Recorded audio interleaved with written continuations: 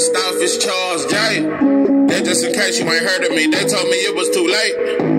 But I promise that I'll be the first to speak. Most of these rappers, they fake. But you can't have your way same bird kid. Everybody said it won't be. Till they see smoke, then they realize they'd rather have turkey me. What it do, what it do? It's 903 Boxing. I'm your host, Charles J. Say, man, shout out to my audience. Shout out to those that's rocking with me. And yeah, we back in the kitchen. There's a whole lot of goddamn sauce in this pot, man. Let's get to the shit. The Prince of Saudi Arabia, um, he claims that uh, uh, he got the money for Tank versus Devin. Uh, uh, okay. So I'm gonna get my thoughts, and I know some those who listen to me, I know they probably I know some of y'all are like, uh yeah, but 903, you just said that the Saudis they ain't show no interest in black fighters in America. Um so yeah, I just said that shit a couple days ago, and now they're offering uh Tank versus Devin. They have the money. Um, they got plenty of money. Uh, I'm gonna get to that shit. Uh, matter of fact, let's start with that shit. Um, the Prince of Saudi Arabia, I can't uh, uh, pronounce his name. Uh, he ain't that old though. He pretty young. Uh, he definitely getting money. yeah, yeah, yeah. Yeah, he got plenty of money. Don't let that sheet fool you. Yeah, that sheet on the top of his shit, that shit worth millions. Yeah, yeah, yeah. Uh, that sheet that's on the top of his shit, that shit is worth millions. It's diamonds in that sheet. Yeah, yeah, yeah. Uh, I'm telling you, boy, we getting A-Rab money. that motherfucker is the DJ Khaled of boxing or some shit. Yeah, yeah, yeah. You, you, yeah, yeah, yeah. You, you, you the DJ Khaled of, uh, you might as well tape your shit now and put, yeah, and, and, and, and use one of our do-rags to lay your shit down, bro. Uh, put you some diamonds on.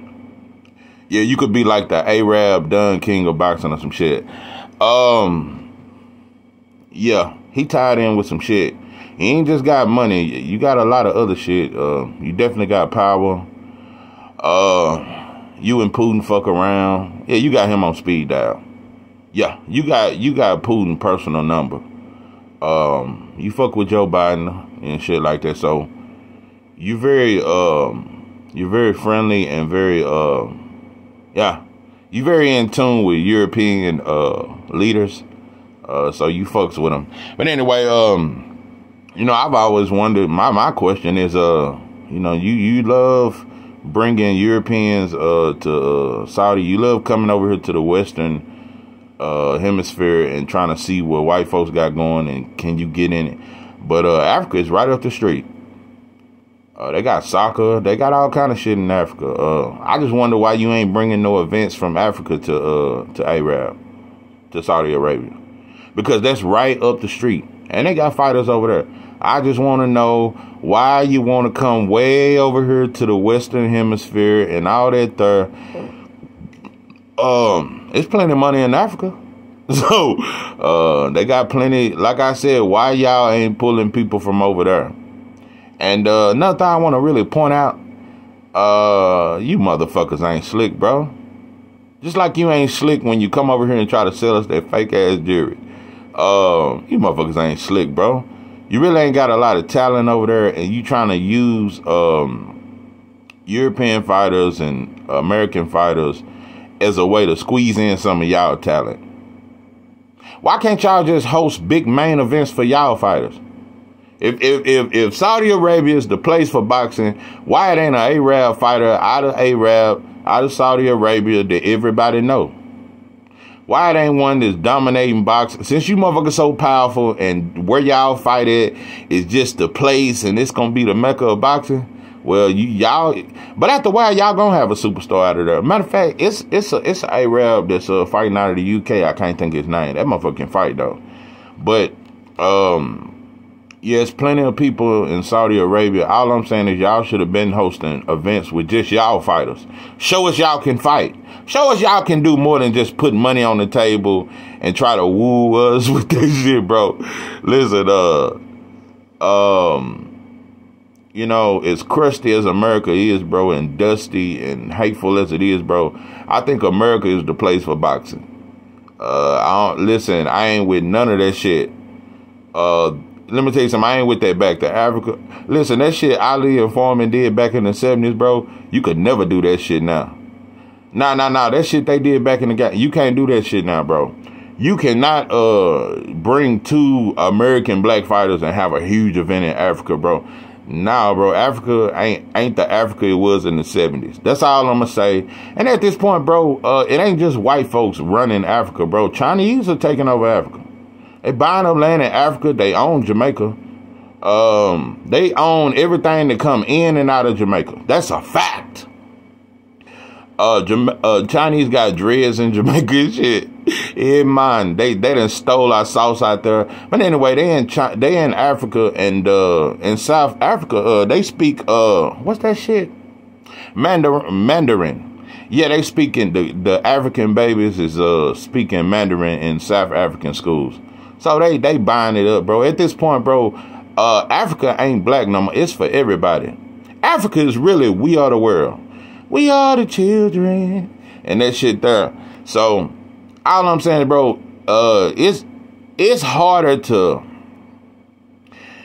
You know, like I said, bro, Africa right up the street, and uh, everybody buying it up, and you motherfuckers damn near run north of Africa. So, yeah, bring some African events over here to Arab. And like I said, host some just some Arab events with Arab athlete, and let's just see if y'all, cause you can't just be trying to say you the mecca of boxing and y'all, and y'all ain't got no real fighters over there.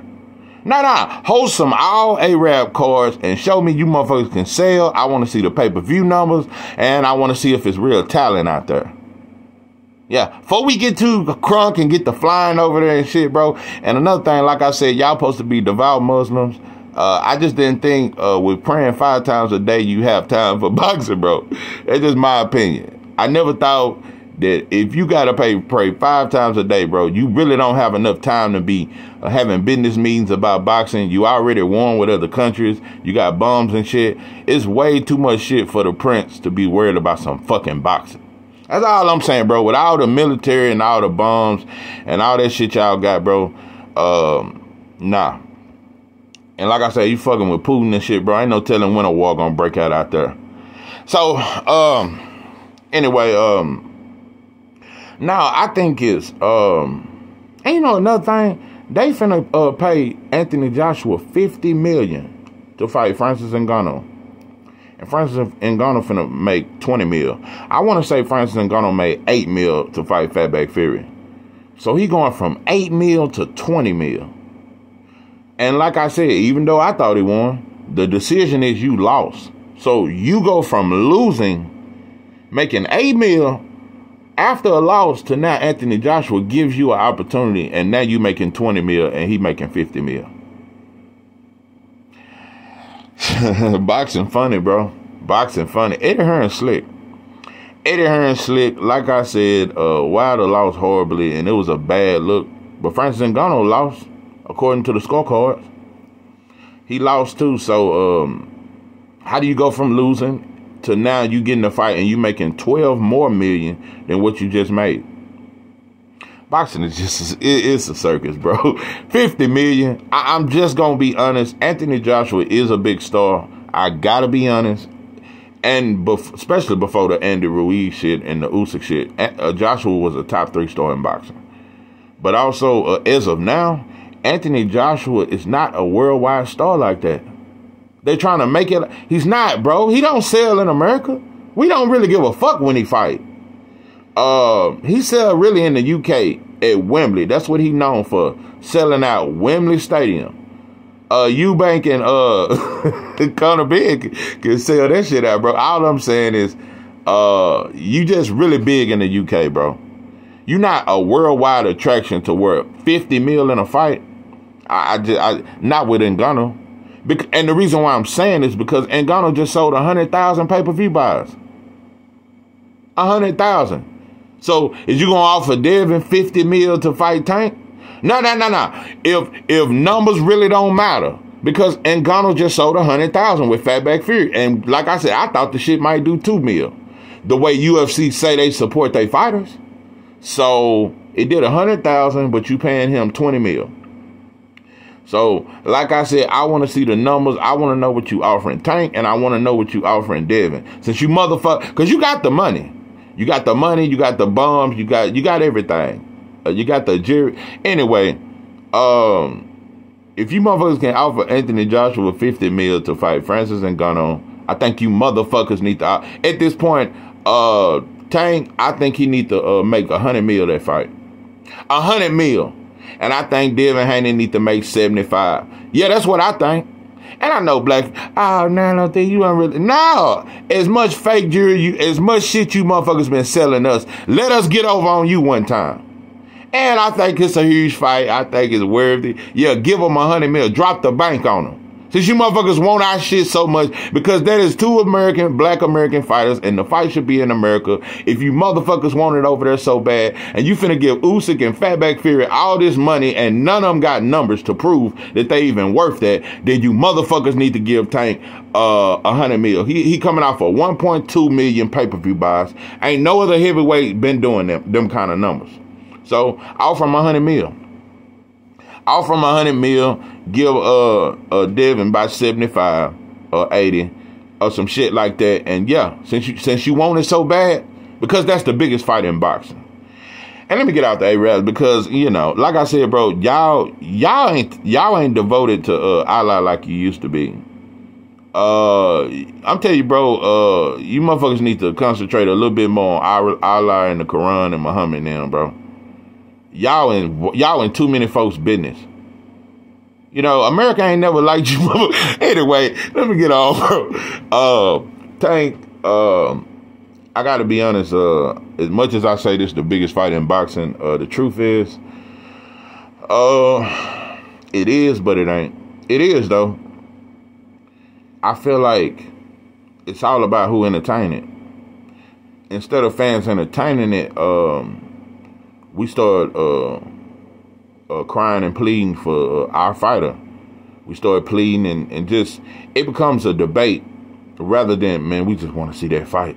You know, like Bill, Bivol and Beterbiev. We just want to see the fight. It ain't no A side, ain't no none of that shit. It ain't no nothing. It ain't no arguments, none of that shit. The coaches ain't beefing like Coach Calvin and Bill Haney is. It ain't none of that shit.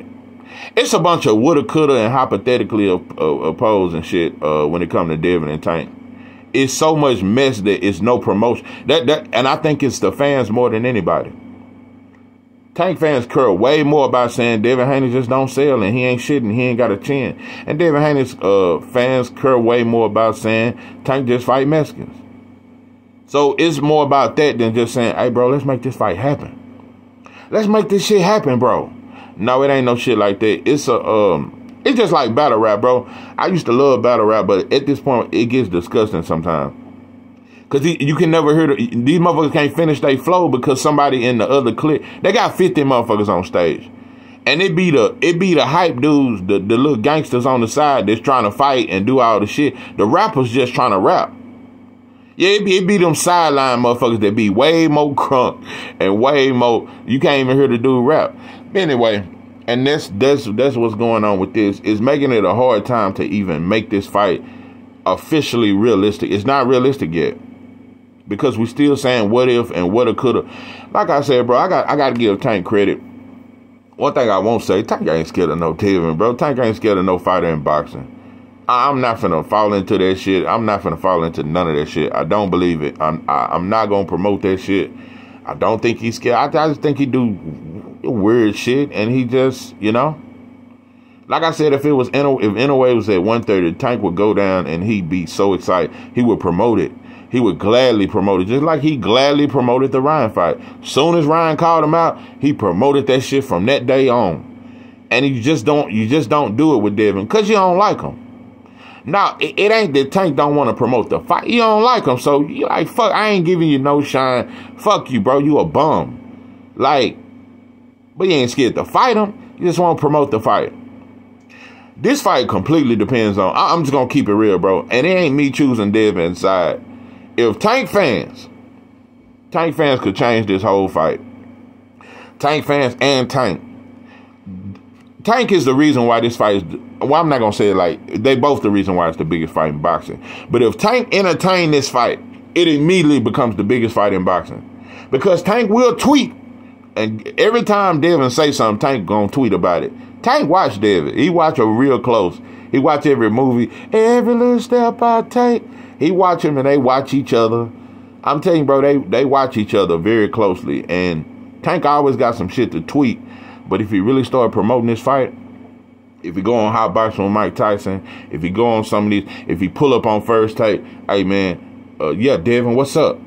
Let's make this fight happen, man. That fight, if Tank, if Tank promote that fight, and if he entertain it without saying you cap, without saying you fake, I'm a, you got a glass jaw. If Tank just say, man, this is the biggest fight, and he he uh, he, if he acknowledge that shit that's my biggest problem with Tank. It ain't that he's scared of death. You won't acknowledge that this the fight.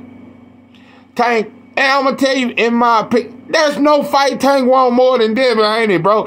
Tank wanna shut Devin up. He wanna shut Bill up. Tank really, cause he know, bro. Devin got a big fan base, and mo man fans, it's fans that ain't even Tank fans that don't like Devin Haney fans, cause Devin got a fan base. That's one thing people cannot deny. And they want to shut Devin fans up. Tank want to shut all that shit up, in my opinion. There is nobody he want to fight more. Outside of Inoue, because he said that's a dream fight. Outside of Inoue, there is no fighter that Tank want more than Devin Haney. In my opinion. Hands down, that's the fight he want, bro. That is the fight he want. I believe that shit. I believe that shit. I just think that um it's too much of a rap beef. I think Leonard Ellerbe, I think Coach Calvin, I think Floyd, I just think they don't want to make that fight. They don't want to entertain it. They don't want to talk about it. They don't want to make that fight, bro. And I think he Tank would literally, Tank would have to do what Earl did, but even more so. Earl went completely against the grain to make that fight and make sure they had a 10 million uh, guarantee, which it should have been more than that. But uh, Earl did go go against the grain. Espinoza and them did not want to make the Terence Crawford fight. They said the numbers wasn't right. And Terence Crawford ain't realistic with, with numbers. He's he's not worth much. This fight ain't big as y'all think. so shit. Tank gonna have to say fuck that. And uh, Tank need to get out of that contract. You gotta get out of that contract, bro you need to be like uh whether where you can go to any promotion and fight at any time. You that big.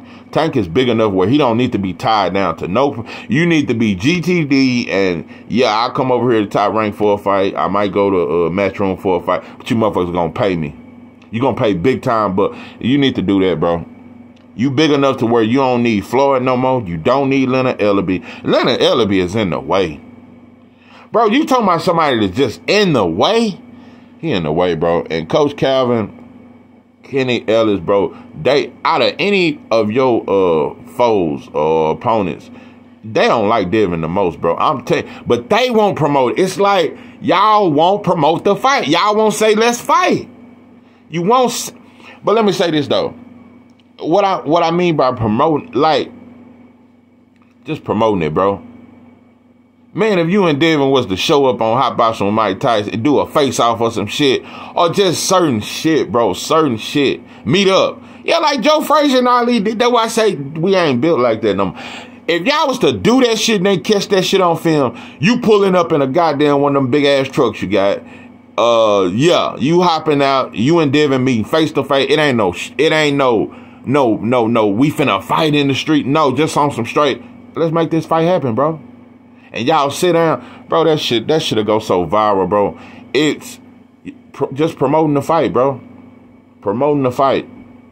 And with Devin and Bill, bro, instead of saying he ducking, he scared, just promote the fight. You can promote it without saying somebody ducking or they scared, bro. Make the fight happen. Tank, y'all never said Ryan was scared, bro. You accepted the fight. You promoted it. It wasn't no he's scared. Leonard Ellerbe said, "Oh man, Ryan is a soldier for taking this fight. He he want to be great and all this shit, bro. You just got a bunch of uh, suckers around you, in my opinion. Tank ain't born that shit. Man, I heard Lorenzo Truck Simpson in an interview. In interview, uh, the way he talk about Tank, he say, "Man, y'all y'all just ain't seen nothing, bro. The shit I've seen him do in the gym." he he ain't showed it, bro. He ain't winning his bag. And like I said, uh, even though I, I, I say that about Devin too, I said, bro, we ain't seen the best of Devin. Just ain't Devin getting better and better. Um, but I don't think we seen the best of Tank either, bro. I think Tank got some shit in that bag, bro. I think he got some shit in that bag, and um, the Devin fight will bring everything out. And, and I want to make something very clear also. I want the Tank versus Shakur fight, but I just got to be realistic, bro. The Tank versus Shakur, if it happened next, I would love it. I would be hyped. I would love it. But the Tank and Shakur uh, fight has nowhere near the buzz that Devin and Tank. It's just, it, that's the fight. Everybody know it. We just try to uh, whistle around that shit, and we just rather cap and hot side. No, Tank and Dev. Everybody know that's the fight. They keep talking about. They've been talking about each other for five years.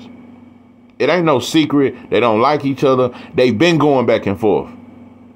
Um, that's been the fight for some years now. So, in my opinion, um, it just it just too much heat around it, bro. It's too much heat. Also, Tank did say, um, he told Shawn Porter like, uh, why would I be scared of this big nose motherfucker? All he is is a nose. He said something, something about Devin nose or something. And he said, uh, when I spoiled you a 147 pounder. That's another thing that's exposed a lot of shit I watched Tank, Tank, uh, and like I said, both fans cap. But in my opinion, because Tank just let it be known, bro, I don't give a fuck about fighting you at 140, and I don't need a rehydration clause. I, I, at this point, I think Tank want to prove that, bro, give a fuck about you being bigger than me. Tank was never on that shit it was Tank fans. It was all kind of fans that, bro, after the Devin and Regis fight, y'all started saying it. Tank had never said Devin was too big for me. Y'all started saying it. there's no way the fight will ever happen. Devin is far too big for him. Tank never said it. Y'all started drawing up a contract for him or rehydrate. He never said it. Fans was ready to cry for him and try to say he shouldn't fight Devin. Devin too big. But y'all was cool with him fighting Tio. Man, listen, bro. Um, uh, Tank don't need nobody to cry for him. He don't need nobody to rub his head and, and, and rock him to sleep, bro. Tank has come out and said 140 ain't shit to make. I don't need a rehydration cloud, none of this shit. So that's why I expect the fight to happen at 140. Um, but far as like in Saudi Arabia, if y'all do it, do it. I, I ain't tripping. But um, I'm very interested in the numbers. I'm very interested in the in the, in the numbers they're gonna pay uh Tank and Dale if because I'm gonna tell you another thing. This um, this will get Tank excited. This will get Tank in because Devin definitely want to fight in Saudi Arabia. He is a Muslim, um, and they act like they like him or whatever. But uh, Tank Tank might Tank might really entertain it because he feel like the money good in Saudi Arabia and he feel like that's a worldwide platform or whatever. So he might, you know, it may make him more anxious for the fight. But um we'll see, bro. We'll see.